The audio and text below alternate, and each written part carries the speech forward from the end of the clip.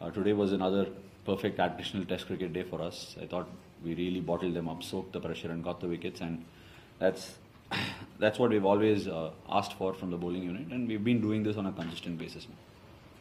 Uh, I think I see it as neck and neck as far as the game goes right now. Uh, whoever wilts first or whoever gets the momentum from here on obviously has an edge in this test match. So I feel it's extremely well poised and every run is going to be gold dust from here. I thought they all bowled really well. Um, I thought we, we stuck at it pretty well. It was a tough day, like it wasn't easy um, to score. So um, I thought we fought really well. Um, Heady batted really well. Um, I thought Pete Handscomb looked really good and Starcy was good at the end. So um, I think we're in a decent position.